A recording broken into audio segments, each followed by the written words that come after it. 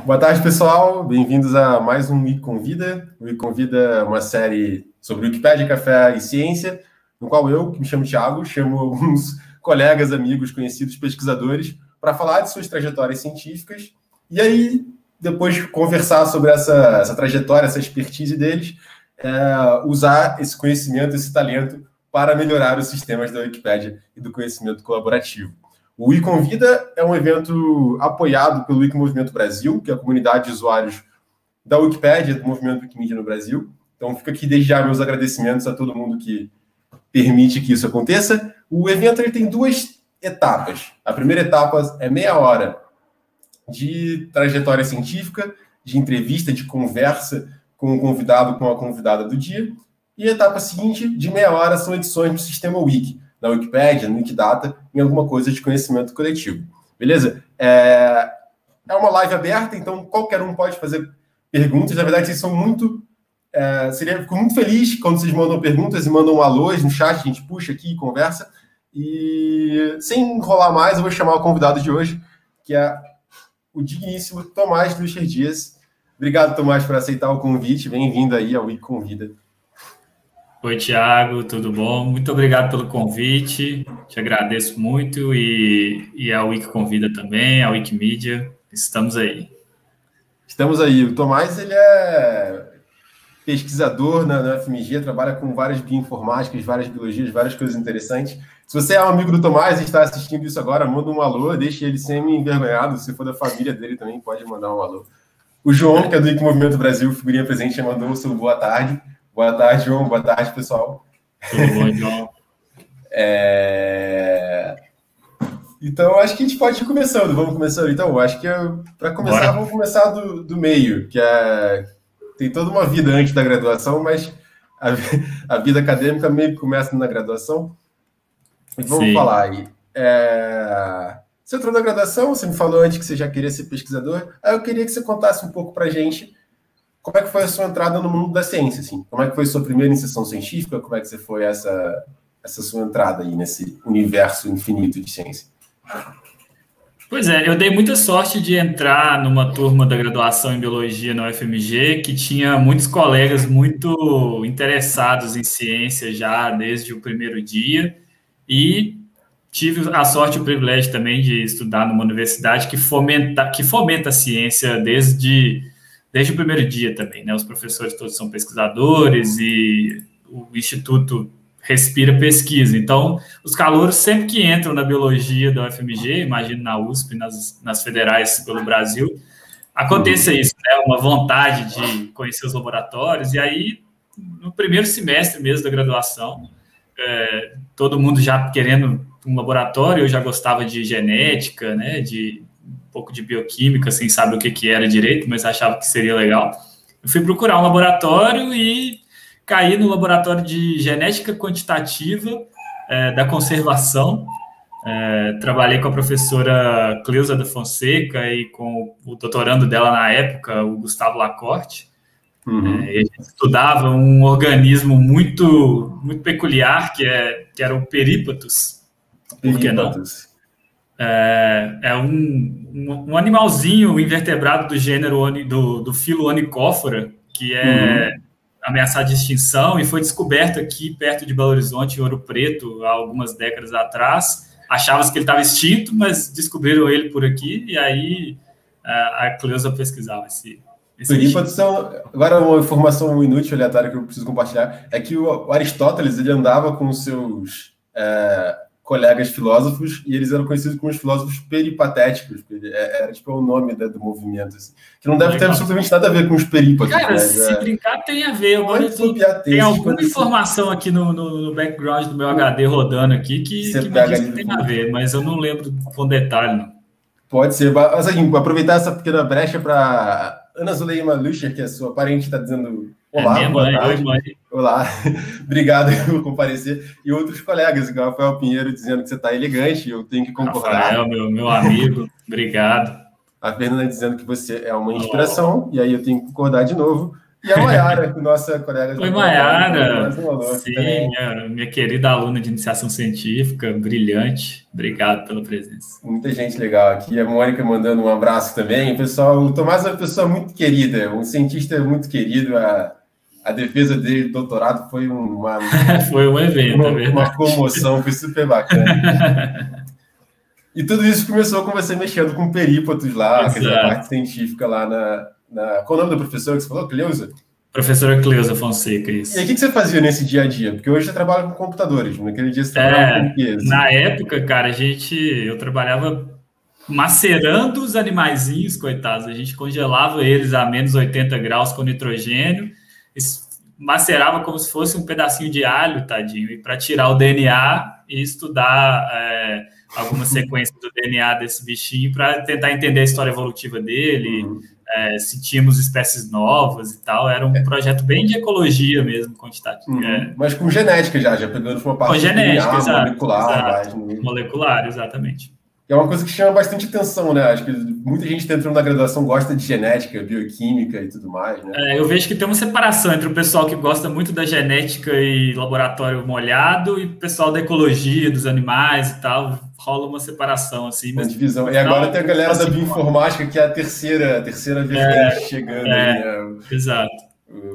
Legal, mas aí você começou nessa, nessa vertente laboratório molhado mais com um pouco de ecologia e depois você caminhou para outros, outros rumos dentro dessa sua jornada, sim, né? Sim, aos poucos eu fui secando a minha, a minha jornada é, de fazer experimentos de bancada, mas eu fiz eu, durante a graduação inteira eu trabalhei com experimentos de bancada. Depois desse laboratório eu trabalhei no laboratório de bioquímica, é, de enzimologia de, de proteínas com o professor Marcelo Santoro e o William Regis. E lá eu estudava um cogumelo, né? Um uhum. cogumelo que é, é comestível, né? O cogumelo do sol, provavelmente muita gente já ouviu falar, tinha muita propaganda na televisão na época. É, e o William, ele produzia esse cogumelo e tinha um financiamento de pesquisa para a empresa para tentar descobrir potenciais biotecnológicos e coisas interessantes, né, sobre esse cogumelo do sol, o, o Agaricus. Agaricus blasei na época, a gente descobriu outro dia que ele mudou de nome, né? Mudou de nome pela Wikipedia. É, agora, eu não lembro qual é o nome que ele tem agora. Agora, eu acho. Mas não importa. Não importa, mas eu vou mandar no chat é. porque o pessoal deve estar curioso. Mas é. fala aí. E aí, na época, eu comecei estudando enzimas mesmo, né, proteínas uhum. específicas, tentando achar algumas de interesse biotecnológico, algumas amilases a gente estudou na época. Mas aí eu dei muita sorte, porque o William tinha a possibilidade de fazer um projeto mais amplo sobre a genética desse, desse cogumelo, tentar encontrar nos genes é, os potenciais caminhos biotecnológicos. E aí uhum. ele pediu a ajuda da professora Glória Franco, que é até hoje minha supervisora de pós-doc, ela foi minha orientadora de, da iniciação científica do doutorado e é minha supervisora de pós-doc hoje. Por um contexto qual ano foi isso que aconteceu isso? Isso foi em 2010, foi há 11 anos já atrás. Tem, é, mais de uma década aí, né? Isso é, é legal. Exato, exato.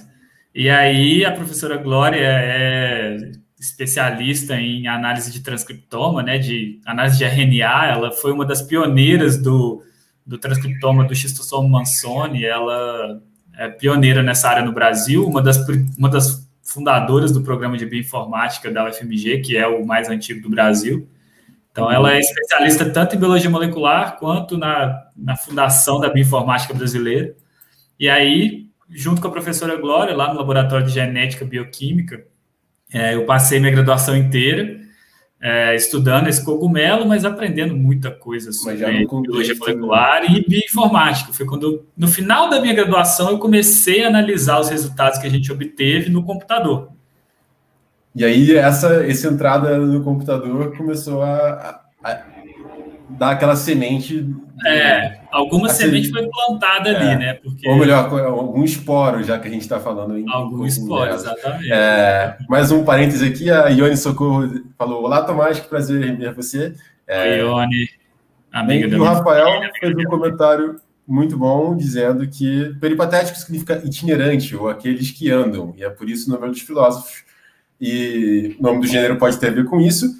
E tem a ver com o que a gente está fazendo aqui agora. A gente está vagando sobre a sua trajetória científica. Então, tudo são várias camadas. É com grande... certeza tem a ver itinerante, porque é um animalzinho que tem muitas patinhas. Ele parece uma centopeia, mas na verdade ele é um, um, grupo especial só deles, mas realmente faz todo sentido.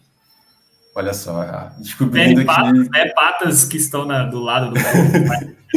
Isso aí já é o que o pessoal chama de folk etimologia, etimologia popular. Você, é, você exato. origem. É... Por que não, né? E aí tem uma declaração de alguém que te ama aí, Tomás. Muito bom, Menino, assim, mais um dos parentes. Obrigado. Maravilha, muito querida. uh... Legal, Também legal. te legal. amo, vocês. tudo em casa, tudo em casa. Então, chegando aqui, continuando a, a, trajetória, né? Você fez bastante coisa na sua graduação em relação à pesquisa, muita bancada, muita, é, muita coisa molhada. Mas você me confessou em segredo que uma das coisas que faz, fez valer a sua graduação foi um grupo diferente, um grupo que era diferente. Você quer contar um pouco para a gente desse grupo diferente aí? Sim, um grupo diferente era o Evolução em Foco, que era um grupo de estudos, um grupo de, de trabalho paralelo, é, que foi formado por meus amigos da minha turma da graduação, né? Principalmente o Gabriel, o Rafael, o Cássio, a Naíla, o Ítalo e o Rômulo. É, e a gente, por muitos anos, desde 2009, a gente organizou quatro edições do Dia Darwin, que foi, foram congressos sobre evolução. A gente, cada uhum. ano, a gente fez com um foco diferente. Teve um ano que foi parasitologia, teve um outro ano que foi mais focado em filosofia da ciência.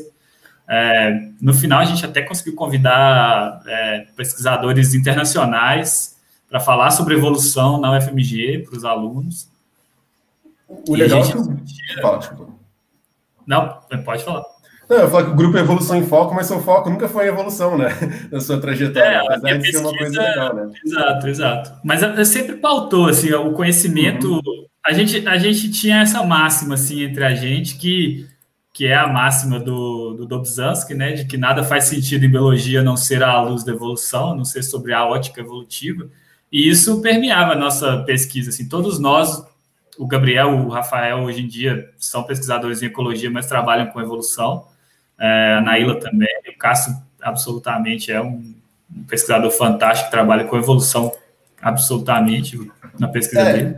E repensando o que eu acabei de falar, a gente está escrevendo um artigo junto sobre evolução do conhecimento, é, né? Que é um de alguma forma, né? sim. Mas e, olha só. Exato, mas nu, eu nunca deixei de olhar para a minha pesquisa do ponto de vista evolutivo, tanto que acho que o meu minha, minha transição entre a biologia molecular de um cogumelo, que era biotecnológico, para o estudo da neurociência, uhum. que foi o meu mestrado, uhum. é, teve muito a ver com o meu estudo de evolução, de tentar entender é, as origens evolutivas da inteligência humana, da memória, do, de como que o cérebro funciona. Vamos fazer esse pulo, mas antes de fazer esse pulo, eu quero mostrar o site aqui do, do pessoal da Evolução em Foco, que é bacana que o site. Opa! Cadê? Cadê? Aqui. Que o site ainda existe, ele ainda está aqui. Eu vou mandar no, no chat para vocês, se quiserem aí ver o passado do Tomás. Então tem aqui a proposta do grupo. O site está muito bem feito, inclusive. Fica meu elogio aí a. E também... É, ele, foi, ele foi comprado.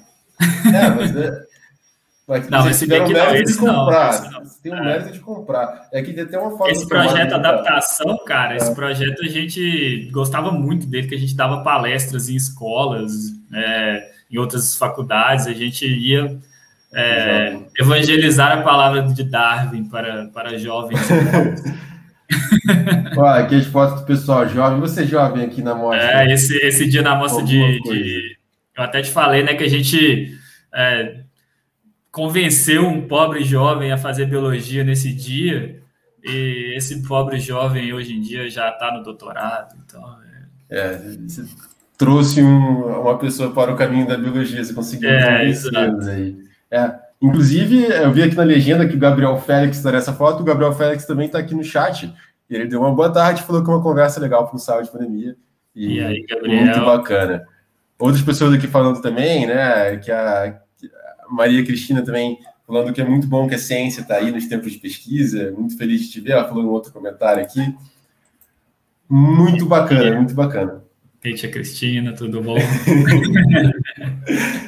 maravilha, maravilha. Muito, muito bom poder falar de ciência assim também no ambiente com pessoas é, você conhece, que é legal. Então, vamos é. falar um pouco agora do, do seu mestrado. Você uhum. fez a sua graduação aí, começou a ver coisas. Esse grupo de evolução em foco né, te abriu a cabeça para algumas coisas diferentes. E aí, no seu mestrado, você quis fazer uma coisa mais de neurociências. Isso, como é que Sim. foi essa parada? Então, como eu te falei é, outro dia que a gente estava conversando, é, mais para o final da graduação eu comecei a me interessar por, pela neurofisiologia, principalmente, né, o funcionamento do, dos neurônios, da, é, das diferentes partes do cérebro, principalmente como a memória funciona e como que a gente se torna quem a gente é, né? Porque eu acho que existe uma percepção mais ou menos é, errada no meio do senso comum de que a gente é uma tábula rasa, de que a gente nasce vazio e a gente vai preenchendo os nossos a nossa personalidade, os nossos pensamentos e sentimentos com as experiências. E mais ou menos no final da graduação, eu tive a oportunidade de ler o livro A Tábula Rasa, do Steven Pinker, que é justamente uma tese para refutar essa, esse senso comum de que não, de que a gente tem muitas predisposições que são evolutivas, que uhum. têm explicações na história evolutiva do ser humano e que, que estão baseadas no nossa, na nossa máquina biológica, né? E digamos então que pelo menos metade, metade, metade é biológico, metade é cultural, e aí pelo menos. É. Não, não é, não, esse livro é legal. Esse livro, esse livro é legal, que ele é um livro polêmico, dá umas polêmicas. É, disso, né? Mas eu lembro sim. que ele fala uma coisa assim, que a gente não pode ignorar que existe um fator evolutivo em quem a gente é nessa composição, e que a gente, como sociedade, a gente pode escolher passar por cima disso se for, se, se for de acordo social, né? Tipo, a, a biologia ela não é. A gente tem que conhecer, conhecer justamente para adequar. Enfim, é um livro legal. Sim. Bacana. E aí, é, o mestrado, eu comecei, eu fiz uma disciplina sobre biologia da, é, neurobiologia da memória com a professora Grace Schenato, do, lá da FMG também, uhum. é, e, e, propus a ela fazer um projeto de mestrado e, inicialmente, a gente ia trabalhar com, estudando as sinapses de neurônios do hipocampo de animais experimentais num modelo de memória social, que é a capacidade de de um animal reconhecer um outro animal da mesma espécie, né? uhum. Assim como eu sei que você é o Tiago porque você tem a sua cara, você tem sua voz, a gente já interagiu em vários contextos. Uhum. Se eu te ver de novo ao longo da minha vida, a não sei que eu tenha algum déficit de memória pesado, eu vou me lembrar quem é você. Uhum. E aí eu queria muito entender no mestrado como que isso acontece, né? Porque como Saber que aquele monte de célulazinha fala entre exato. si, e aí isso dá origem a uma. Exato, exato. E aí a gente estava. A, a, professora Grace tem uma linha de pesquisa muito de, de, muito sucesso no estudo da memória social, e na época ela estava muito interessada em estudar o efeito do isolamento social na memória. Uhum. De, pra, pra, como que você ficar sozinho, só você e você mesmo, sem estímulos, principalmente sociais, mas estímulos de um como um todo, uhum. como é que isso afeta a sua capacidade de é, aprender sobre novas pessoas ou sobre novos indivíduos. E a gente viu que os efeitos são comportamentais, né? Se você fica o animal é, experimental, mas se a gente conseguir transportar isso para o ser humano, uma pessoa que ficar muito tempo isolada, idosos, eles vão ter déficit de memória por causa de processos que acontecem durante o isolamento o cérebro para de produzir novos neurônios, o cérebro diminui a, a potência com que as sinapses se, é, se formam e se estabelecem. É o Isso mundo, né? Acho é. que agora, agora a gente está no momento de pandemia e, e aí, enfim, a gente está tendo que se isolar é, e achar outras formas, né? é. outras coisas. Mas eu lembro que um tempo atrás eu vi, na época que eu era de neurociência também, que isolamento social era uma das coisas que mais predizia fatalidade, mortalidade entre idosos. Tipo, os idosos que tinham pouco contato social tinham é, uma terceira. Enfim, mas hoje, a gente. Hoje tem uma visão neuroimunológica mais completa, uhum. eu tenho, eu diria absolutamente que o isolamento social deve causar algum tipo de inflamação, algum tipo de resposta imune também é. É, pesada e tal. Mas é importante falar que, assim, isolamento social em várias condições, mas agora é importante se isolar porque a gente está no meio da é, pandemia. É, claro, né? claro. É achar outras formas, como a, forma que a gente está aqui nesse ambiente, com pessoas conversando, já Exatamente. ajuda e a gente é, descobriu caso, no, no, Só um parênteses, mais um. O Caso também dá um alô aqui, tá lembrando do Evolução em Foco. Ele também tá na foto lá, mais um da é, fotografia. O Cássio é, é foda. mais uma. Beleza, desculpa aí. Mas, cara, Tomás, acho que a gente pode continuar falando aí do seu mestrado, senão a gente vai ficar dispersar e falar de muita sim, coisa sim. boa aqui. Tem que falar de coisa ruim também. Brincadeira. O... Como é que foi esse projeto de mestrado? O que você fazia no dia a dia? Na ban... Era bancada também, assim, né? É, era, era um trabalho de bancada, mas por muita coincidência da vida, a, a, primeira parte deu muito errado em termos de produção de resultados. Eu aprendi muito, mas não produzi muitas coisas, que foi a tentativa de montar um equipamento para ler a, a, a, atividade dos neurônios em pedaços de cérebros de animais. Essa parte era muito interessante, mas precisaria de mais tempo. Aí, na segunda metade do meu, do meu mestrado, eu fui estudar é, como que algumas partes do cérebro são ativadas durante a formação de uma memória social. Né? Eu estudei animais que não estavam, que não conheciam outros animais, no momento que eles passavam a conhecer, e depois quando eles interagiam com um animal já conhecido.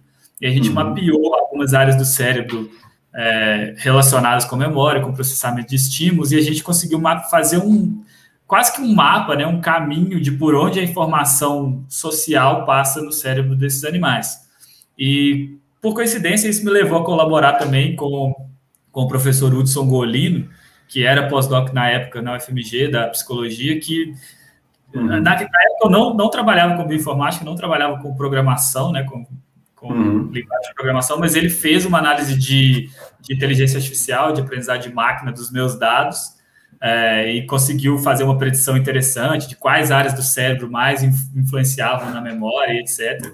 E hoje em esse, dia eu trabalho todos os dias com, com esse, esse tipo de coisa acaba, né? Você não vai para um caminho muito reto para até onde você vai, né? Então essas coisas acabam influenciando de várias formas.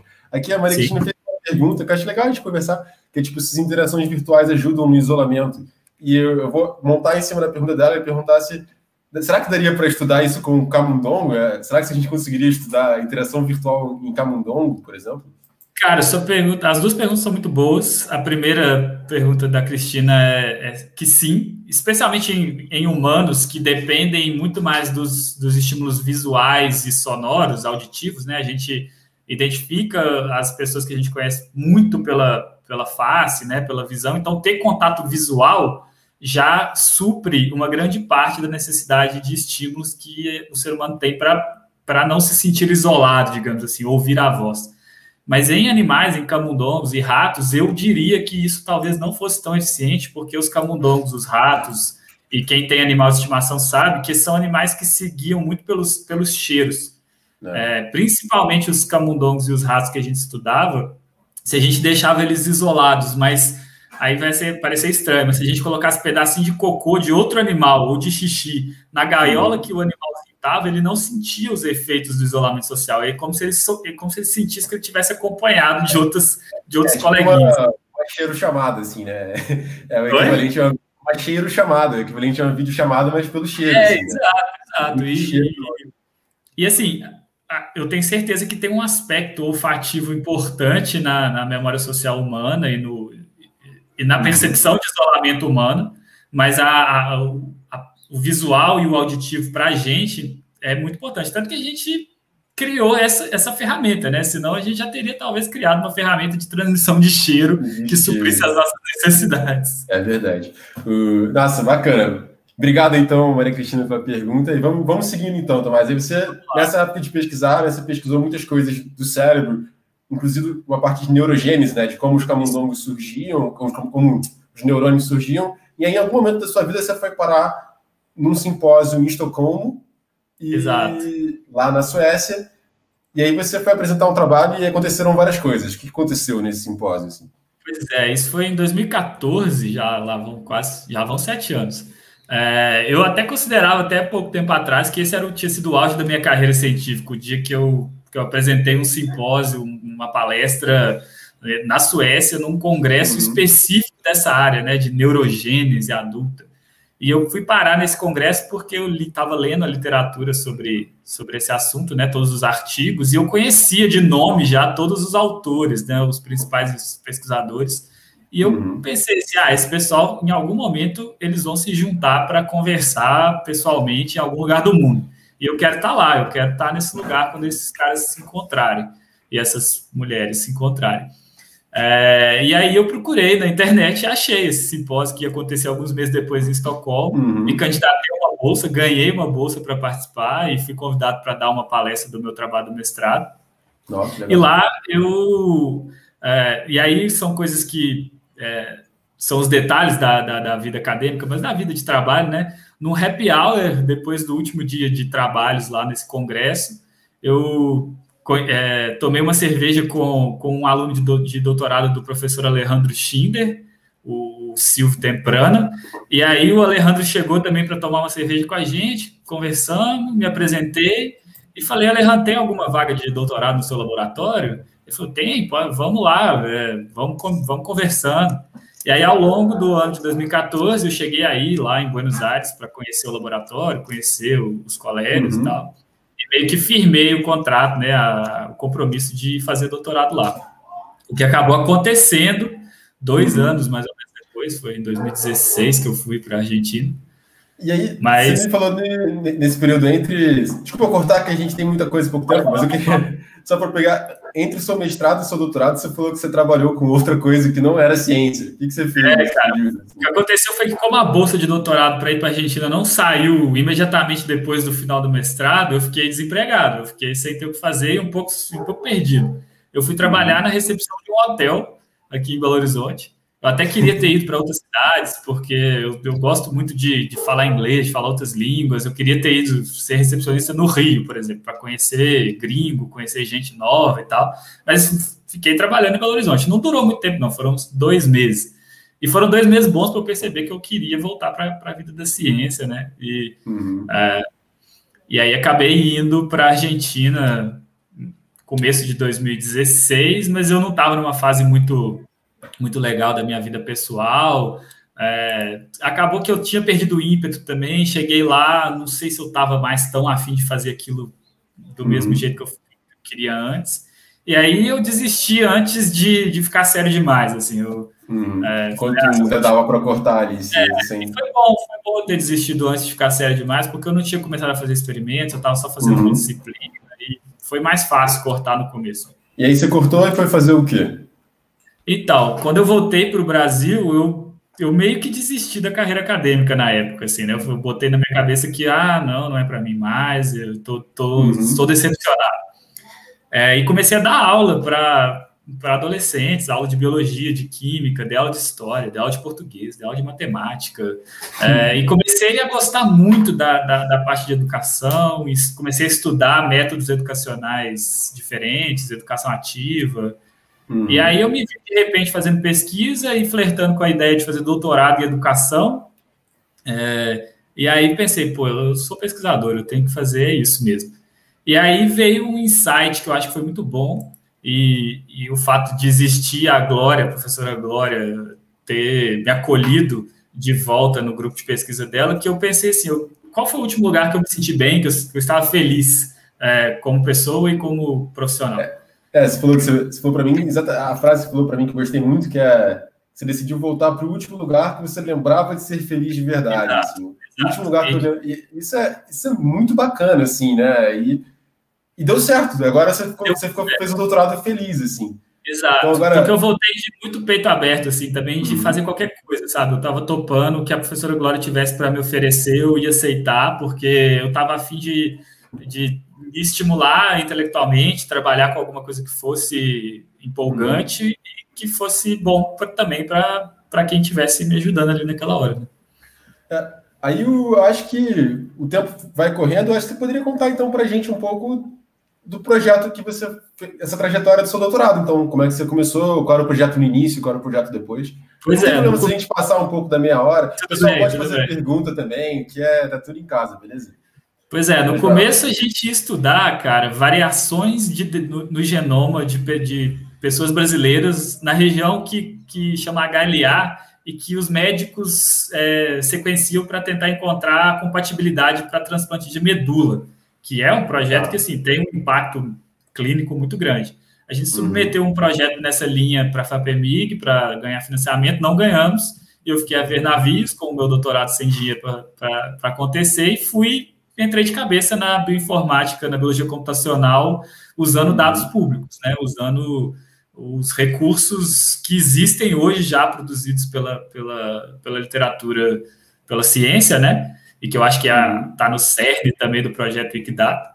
É, e que foi o que me salvou, assim, eu comecei a fazer análise de dados públicos de RNA, né, de expressão de genes, foi quando eu é, descobri é, um programa que o, que o Helder Nakaya, né, que, que é o meu, foi meu orientador de, de doutorado, que é o seu orientador de, de doutorado. É, o pessoal que está assistindo. É, o pode ser também, talvez. Mas... É. é, sim. E descobri o programa Semaitu, né, do, do que uhum. foi publicado pelo Pedro, né, e aí eu entrei em contato com o Helder, por coincidência ele ia dar uma palestra na UFMG na mesma semana. Aí na mesma semana eu já conversei com ele pessoalmente, ele falou: "Não, vai lá uhum. em São Paulo, vai lá aprender a usar esse programa que a gente a gente dá um jeito". Aí o Helder eu... é um cara desenrolado, você é um cara desenrolado, ele é desenrolou fácil. Exato, exato. E aí eu já fui com a ideia, eu e agora a gente já tinha estrategizado a ideia de eu chegar lá propondo fazer um projeto para ser bom para ele também, sabe? Para ele para ter uma troca. E aí, nisso, ele me apresentou esse projeto que foi o meu doutorado, que foi a análise de dados do Watson for Drug Discovery, que é um, um programa de computador do, da IBM que faz algo que, assim, para mim, na época, era absolutamente maravilhoso, inovador, eu nunca tinha ouvido falar disso, que é a extração de dados da literatura usando inteligência artificial, utilizando aprendizado de máquina, ler, uhum. computadores que leem artigos e me dizem quais genes são associados com quais doenças. E aí a gente bolou um projeto que até hoje está dando resultados, de tentar achar potenciais novos medicamentos para tratar doenças psiquiátricas e neurológicas, mas a gente também tem o projeto da Maiara, da Vivi, é, que é de doenças inflamatórias, doenças infecciosas. Então, os desdobramentos dessa minha visita de uma semana ao, ao, ao uhum. CSBL, então, é a minha vida hoje. É até hoje, né? E é. E você pode contar um pouco, você publicou um artigo recentemente que era dessa área, né? Então acho que antes da gente pular para o Data, você pode falar um pouco o que era esse artigo, o que vocês fizeram nele? Então, o que a gente fez foi usar é, o Watson, que é um programa de computador que acha relações na literatura entre genes e doenças. E ele também faz isso para medicamentos, né, drogas, fármacos e, e genes. E a nossa premissa é de que toda doença tem alguma coisa a ver com os genes que estão afetados e todo medicamento que funciona, ele tem que, de alguma forma, mexer nesses genes para contrabalancear o que está dando errado na doença. Só que nem toda relação droga-gene e gene-doença conecta uma droga a uma doença. O que a gente pensou então foi: é possível que a gente encontre medicamentos que afetam os genes importantes, por exemplo, na esquizofrenia, mas que ninguém nunca pensou em usar para tratar a esquizofrenia que é uma estratégia chamada de reposicionamento de drogas, ou. É, é reposicionamento em português é principalmente uhum. esse termo. É, reposicionamento de fármacos. E aí a gente uhum. criou uma estratégia usando redes, que é algo que eu também aprendi muito, agradeço muito ao Gabriel e ao Rafael, que são meus, é, meus mentores, antes de, antes de eu encontrar o, o CSBL, o Gabriel e o Rafael, me, eu aprendi muito com eles sobre redes.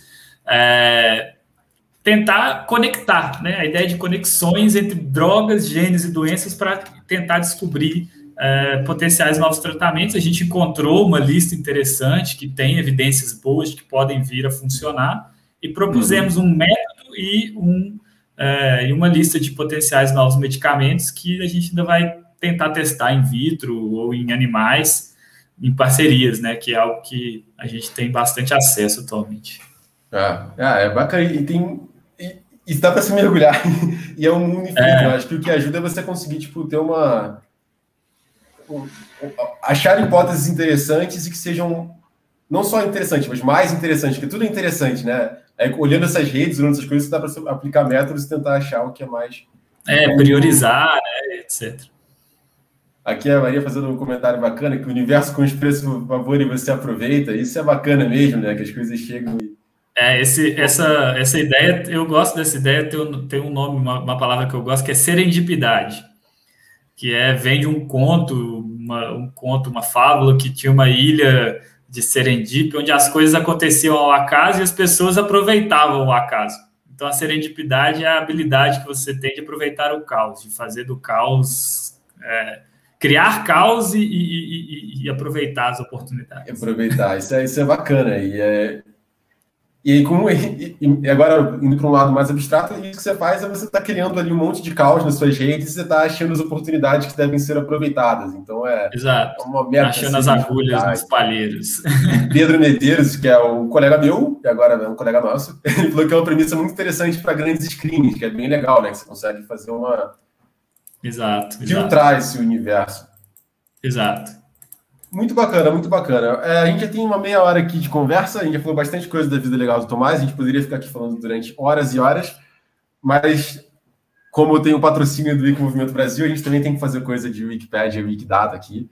É, mas se quiserem fazer perguntas, pessoal, sobre a trajetória do Tomás, sobre o projeto dele, é, ou sobre o Wikipedia e Wikidata, podem fazer também, beleza? É, você queria, quer contar mais alguma coisa pessoal, Tomás, sobre os projetos por agora, ou, ou vamos lá? Cara, atualmente o meu, o meu, a minha bolsa de pós-doc é do programa CAPES Epidemias, que, que é uma bolsa especial para estudar Covid. Então, eu estou com alguns projetos de Covid que estão me dando muita satisfação. A gente está investigando. Achei que você está dando dor de cabeça. Porque... É, dor de, dor de cabeça dá também, mas é dor de cabeça normal. Satisfatória, é. É, é. Mas a gente está investigando, por exemplo, alguns mecanismos moleculares bem específicos, tipo splicing, é, coisas que são bem complexas, mas que podem tentar ajudar a gente a explicar como que esse vírus especificamente ele é tão é, bom de, de, infectar pessoas e de ficar ali sem ser reconhecido pelo sistema imune. É um vírus que eu costumo dizer para o pessoal, é um vírus safado. Ele, ele sabe a evolução, por um, mecanismo de evolução, esse vírus surgiu que ele consegue ser bom para transmitir, mas também ficar esperando a hora certa para transmitir entre as pessoas. Enfim. É, você consegue lá. Pô, bacana, bacana esse conteúdo. Pena que a gente não tem mais tempo, mas da próxima vez que o Tomás vier é, aqui, a, a, gente, gente conversa sobre disso. esses projetos de Covid que é... são são bem interessantes. É bacana. E, e, vai ter uma próxima vez sim, porque está muito bacana. O pessoal aqui do Wiki Movimento Brasil falando que está de olho mesmo e esperando a parte do Wikidata e dando seus parabéns aí. É, e outras pessoas dando parabéns, o Wiki Socapos também. Beleza? Maravilha. E, é, e, realmente ver pesquisando esse vírus dá esperança. Fala aí, Tomás, que você falar? Oi? Não, que o seu colega falou Nature, eu tomara. é. É que, é que esse aqui era o Nature Translational Psychiatry, que é da Ah, sim, Nature, sim, sim, mas entendi, é, uma legal, legal, legal, legal, legal. Mas legal. Então, gente, é, continuem aqui para essa parte do Wikidata. É, e eu vou primeiro explicar um pouco o que é o Wikidata, o que é esse sistema, e depois mostrar uma atividadezinha que a gente, eu e o Tomás vamos fazer. E se alguém quiser fazer parecido, dá para fazer em casa, beleza? É, o Wikidata é um sistema que é da, vocês provavelmente conhecem a Wikipedia, já usaram a Wikipedia. A Wikipedia já tem várias, vários conceitos, né? vários temas que você pode ir lá acessar. E esses temas, eles têm... O conhecimento deles no Wikipedia tem forma de texto. Mas como, assim como o Tomás conecta genes e doenças nas suas redes, nos seus trabalhos, o que o Wikidata faz é tentar pegar esses conhecimentos da Wikipedia e conectar também. É, talvez fique mais, mais claro com um exemplo. Então, vamos dizer, por exemplo, tem um item no Wikidata que é o Tomás. É, é um item que representa o Tomás, o pesquisador Tomás, que ele é uma página dentro dessa plataforma. E ele e tem um é item. Esse é o seu número, ele tem um identificador único que identifica ele. Então, se tiver outra, outra pessoa exatamente com o mesmo nome, vai ser um outro item na plataforma, porque ela vai, é outra pessoa, é como, como se fosse um CPF, um RG, é, um identificador único, né?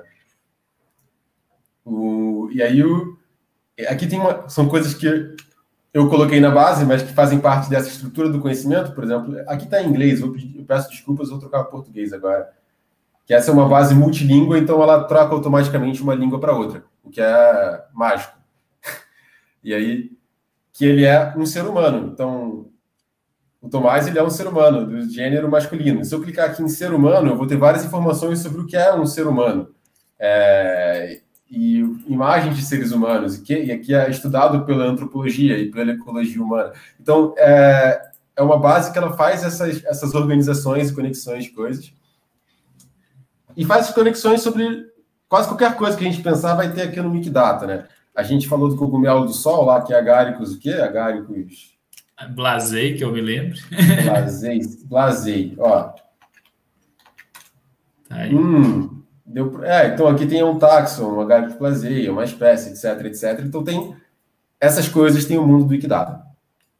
E aí quem coloca essas informações aqui no Wikidata? Diferente do Watson, que é um mega computador que puxa da literatura, o Wikidata ele é contribuído por nós, por seres humanos. Da mesma forma, qualquer um pode contribuir para o Wikipedia, qualquer um pode contribuir para o Wikidata.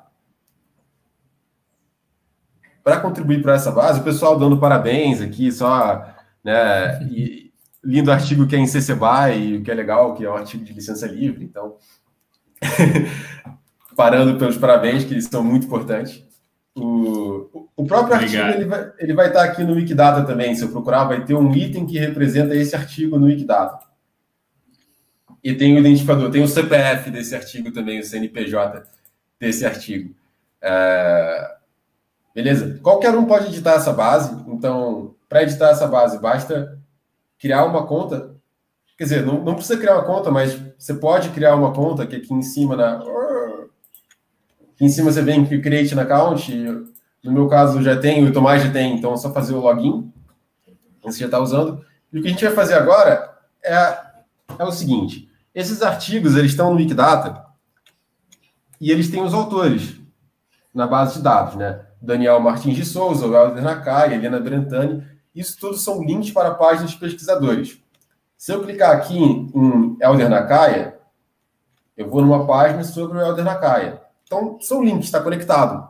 É uma rede, de certa forma, assim como é uma rede é, de conhecimento. Mas aqui a Patrícia Cristina Baleiro Beltrão Braga não é um link, tá vendo? Eu não consigo clicar no nome dela. Isso é ruim, porque a gente gostaria de que tudo tivesse conectado. Porque quando essas coisas estão conectadas, a gente pode usar esse conhecimento para fazer coisas legais.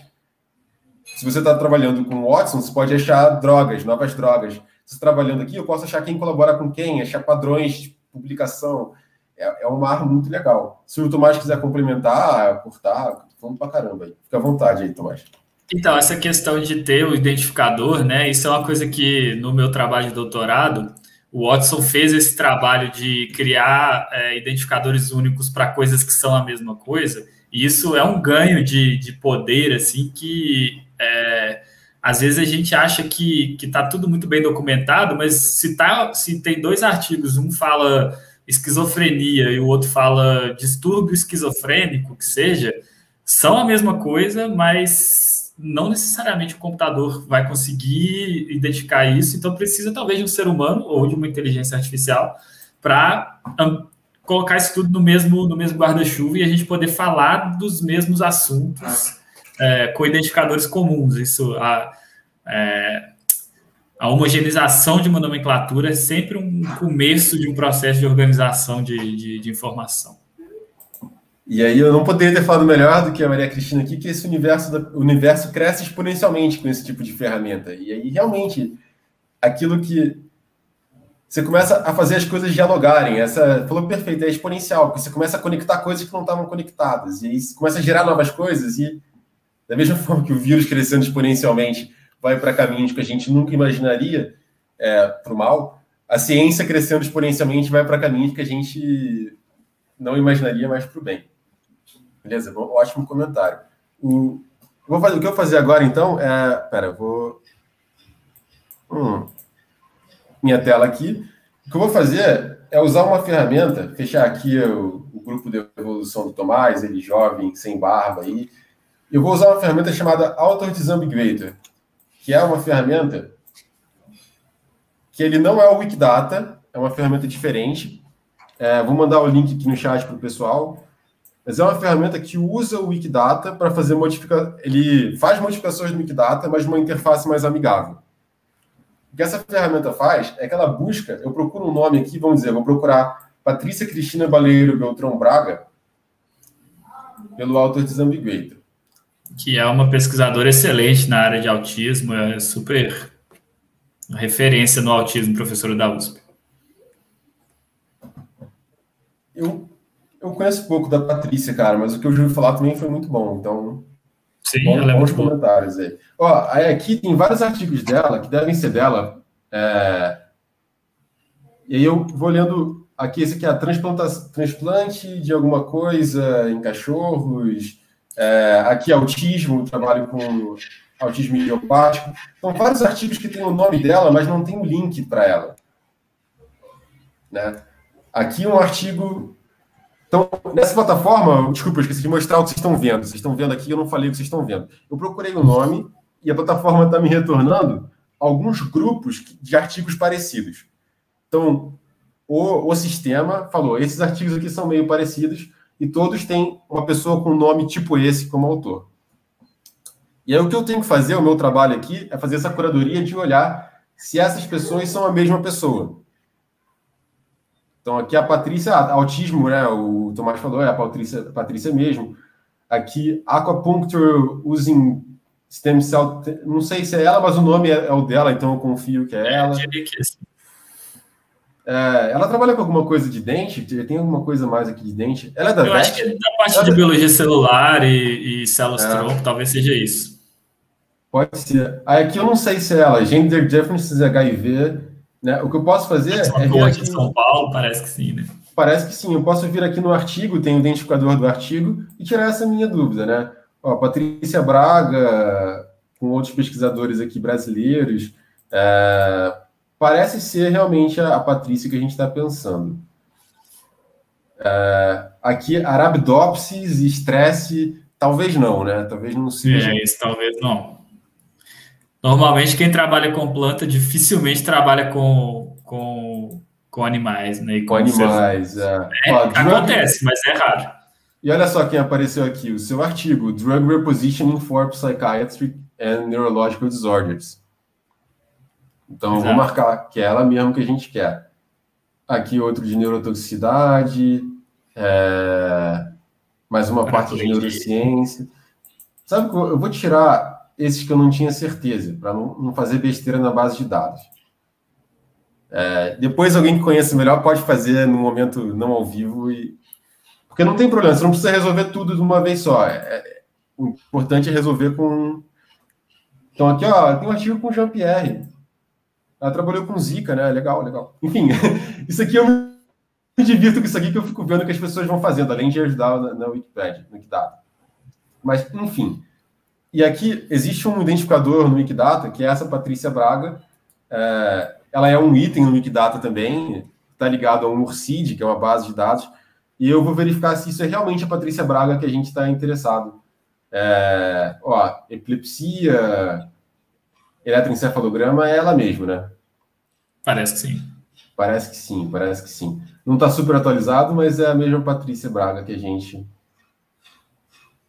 Pera, aqui está dizendo que ele é da Universidade, Faculdade de Medicina no Paraguai. É, então parece que não, né? Então parece, parece que, não. não. É, hum. temos que ficar atentos. Vixe. É, parece que não. Faculdade de Medicina de. Mas não sei, vamos. Não. É... Vou jogar o nome dela no Wikidata e ver se o que, que eu acho. Hum... Patrícia Beltrão Braga. Ah, tem aqui a Patrícia Cristina, né? que é a outra Patrícia Cristina. Uhum. Muito bem. Legal. Por isso que o negócio não dá para fazer automaticamente por computadores. Tem que fazer por, por, seres humanos, porque esse tipo de coisa é muito difícil o computador pegar. Quer dizer, dá para fazer, mas é difícil, né? Então eu vou deixar aqui tudo que só que eu tenho certeza que é a mesma Patrícia. Que é só o que tem o nome dela inteiro, beleza? é, para ser seguro. Pelo sim, pelo não, pelo talvez, vai ficar só esses aí. Legal. E aí eu vou colocar. Tiago, nessa... deixa eu te fazer uma pergunta sobre o Wikidata. Faça uma. É, faça a gente está fazendo essas edições para a gente melhorar a base, né? Mas que tipo Sim. de aplicações e como é que as pessoas que estão assistindo podem usar o Wikidata para fazer essas conexões, né? Como é que você faz você para achar da as conexões que te interessam? Do, do, consumidor, né? Muito boa pergunta. É, foi mal que eu me. É que era um exemplo mais complicado do que eu imaginava, aí demorou um pouquinho mais. Né? mas, uh, mas aqui está tá rodando e está adicionando tudo isso a Patrícia. Existem ferramentas que pegam o Kidata e que dão visualizações para a gente. Uma delas se chama Escolha. É, esse Escolha é um projeto super legal, de alguns milhões de reais, que eu vou mandar aqui no, no chat para vocês verem. E aí nele eu consigo procurar por um cientista, sei lá, por exemplo, Tomás. E aí eu consigo ver tudo que tem no Wikidata sobre o Tomás. Então, aqui tem os artigos que ele publicou, é, e são tudo links, né? Então, eu posso navegar nesse mundo do, É como se fosse uma Wikipédia do Tomás, assim. Artigos que ele foi o primeiro autor e foi o último, o número de páginas publicadas por ano, os tópicos que ele trabalhou.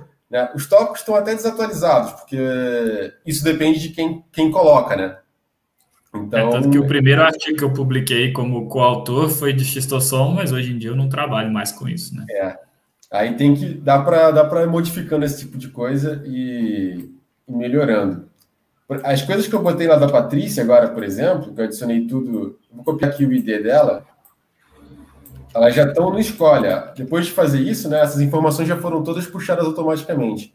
Então, Dá para é, entrar é aqui. Legal, né? Que é tudo interconectado e bem automático, né? Uma vez é que está. Automático, é papum. Então aqui, ó, aquele artigo, o seu artigo que não estava conectado com ela, agora já está.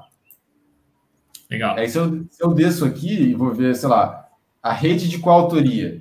Vai ter uma rede de coautoria, os tópicos, né? Tem Zika vírus, autismo, trabalhou com muita coisa legal.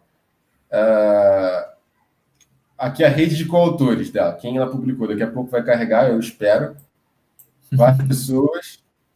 Ó, a rede balança, se eu mexer. O, o Jean-Pierre, o Zanotto, e em algum lugar aqui, Helder Nakaya, e no núcleo Helder Nakaya está aqui a Vivi, a Helena Brentani e o Tomás dentro dessa rede, dá para navegar. Eu bastante. diria que essa plataforma, Thiago, é muito boa para alunos que estão é, começando a carreira e interessados por algum assunto encontrarem perto de si pesquisadores que estão conectados com pessoas que eles conhecem, né? Porque muitas vezes os alunos ficam muito perdidos em saber, ah, com quem eu vou fazer o meu mestrado, meu doutorado. Uhum. Acho que é... o Wikidata pode ajudar. Com certeza, e, e dá para você ver isso para pessoas, dá para ver para instituições também, por exemplo. Então, aqui eu posso procurar procurar o programa de, de Bioinformatics da, da UFMG. Uh, ah, será que eu consigo achar? Procurar só UFMG e ver o que aparece. Vai ter uma página aqui para a Universidade Federal de Minas Gerais, listando isso para os autores afiliados à instituição, os coautores, os orientadores. Então, você consegue viajar nesse universo nesse universo dentro de instituições de pesquisa também. O que é bem louco. Legal. É, mas agora já estou dispersando. O que é a ideia é eu editar um pouco e o Tomás editar um pouco. E a gente pensou em adicionar alguns dos conhecidos em comum do, do Tomás e do pessoal que está aí assistindo ao Wikidata. E o primeiro que Sim. ele tinha mencionado é esse indivíduo chamado Gustavo Augusto Lacorte. Gustavo da Cleusa. Que é o Gustavo da Cleusa, que participou lá dessa primeira iniciação um tempo atrás, né? Exato. O, e aí ele tem esses artigos que o Tomás sabe que é dele, né? Gustavo Alacorte. Uh, legal, legal, tudo dele mesmo, Gustavo Augusto Lacorte, Lacorte. E agora eu vou adicionar todos ao Gustavo Augusto Lacorte. Ligar autores. Pronto. E agora ele vai rodar e fazer essas ligações. Beleza? Eu fiz daqui e agora você pode tentar. Quer fazer daí também, Tomás? Tentar fazer o. Posso. Eu tô, você está com a minha tela aí? Vou puxar aqui sua tela para o pessoal ver. Né? Vamos ver o Gabriel aqui. Mas antes de tudo, que vai dar problema daqui a pouco, mas antes, ali em cima está escrito login to your Wikimedia account. Ah, sim, eu vou fazer isso. É aí para a gente fazer o login antes. Click here to do that and then reload. O Felipe Tenkaten, que é, foi um outro convidado nosso aqui falando, tem Katen, pronunciei errado, que é um reposicionamento de conhecimento. É. Bacana, é um bom conceito. Um bom conceito, dá para fazer um paper com uma buzzword aí, palavra que chama atenção. Legal, agora você vai procurar o nome de alguém.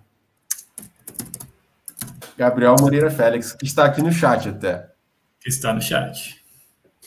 Ou estava, no passado. Gabriel, se estiver ah, aí, dá um alô. Nossa, que conf... ele vai achar muita coisa, né? Parece. Que achou? É, achou o Gabriel esse, Ferreira. Esse hum, não é o Gabriel. Tem os nomes comuns que não são muito comuns, não são muito é. fáceis de achar. O... A gente tinha achado. Tento procurar por Gabriel MF Félix. MF Félix? É. MF separado. Que aí eu acho que vai achar. Depende de como o nome tá, foi colocado na publicação, né? Tem um. Ó, esse aqui é dele, porque tem o Rafael, tem o Casten, tem o Marco Melo, que eu sei que são coautores do Gabriel. Aqui também é um novo modelo explicando as topologias de rede, que é o mesmo artigo que apareceu duas vezes por algum motivo. É, esse aqui também do, eu acho que sim, né? Interações entre os hospedeiros, que é o tema de pesquisa do Gabriel. É, o modelo, o modelo que o Gabriel e o Rafael desenvolveram sobre trade-offs em redes biológicas. Tá batendo, o paper com o Gustavo Lacoste também está aqui. Mas aqui talvez já comece a ter algumas coisas estranhas aqui, ó. Journal of the National American Association. Acho que o Gabriel nunca publicou um artigo nesse, nessa revista, não. Deve ser outro Gabriel Félix. É, nem, nem mandou mensagem para o presidente que eu, me, que eu saiba. Então, esse segundo grupo aqui parece ser não, não coerente, né? É. É, se tiver, ele divide nesses grupos parecidos, né? Mas se dentro do grupo tiver um que é o Gabriel Félix e outro não é, você pode trocar. Mas agora, é. na hora que você, ali embaixo, você teria que achar o item que é do Gabriel Félix, porque ele não existe. É, ele não é um jogador de futebol. Então abre, pelo menos não um profissional. E aí abre uma outra aba e vamos no Wikidata criar o item então para o Gabriel Félix. Vamos lá. É... Dá um zoomzinho aí para o pessoal assim, de casa. Eu tenho que fazer o meu login. Agora estou logado. É... Boa. Aí no canto esquerdo vai ter um negócio escrito criar um novo item. E aí o idioma pode ser em português, mas melhor fazer em inglês. Vamos fazer em inglês que fica que a base lá depois vai pegar bonitinho. Pode é boa. Talvez ele vai só achar em inglês. Bota tipo English. Eita.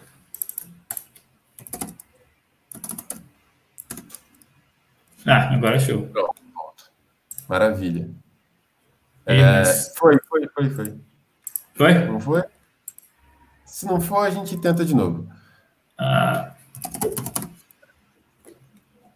Tá confuso. Dá um. Dá um F5 nessa página aí para ela, ela aprender. Tá, inglês. Rótulo. É, pode ser o nome dele. Rótulo é o nome dele.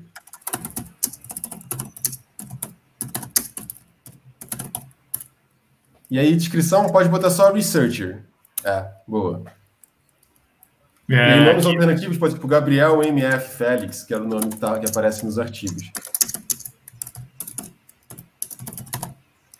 Agora é só clicar em criar e você vai ter criado ele no Wikidata.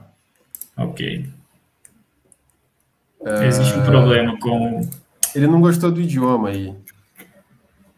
Aff, que saco. É. Bota, em por... Bota em português mesmo. Tira, tira isso. Deleta esse inglês e escreve em português.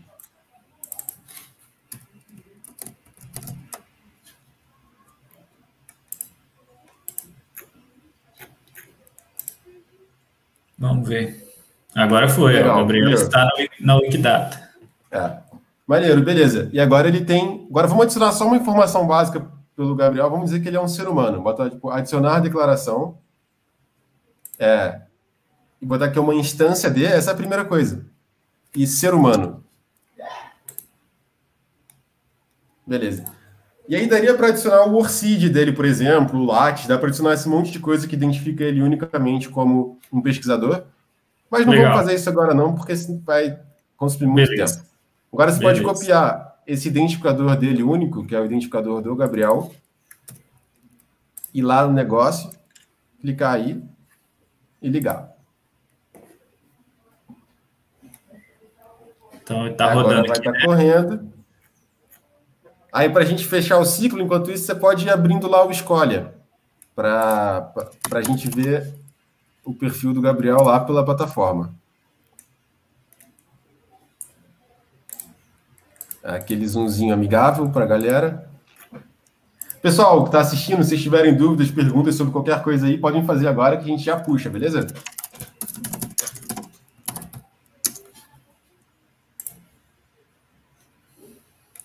E agora estamos chegando aqui nas publicações do Gabriel.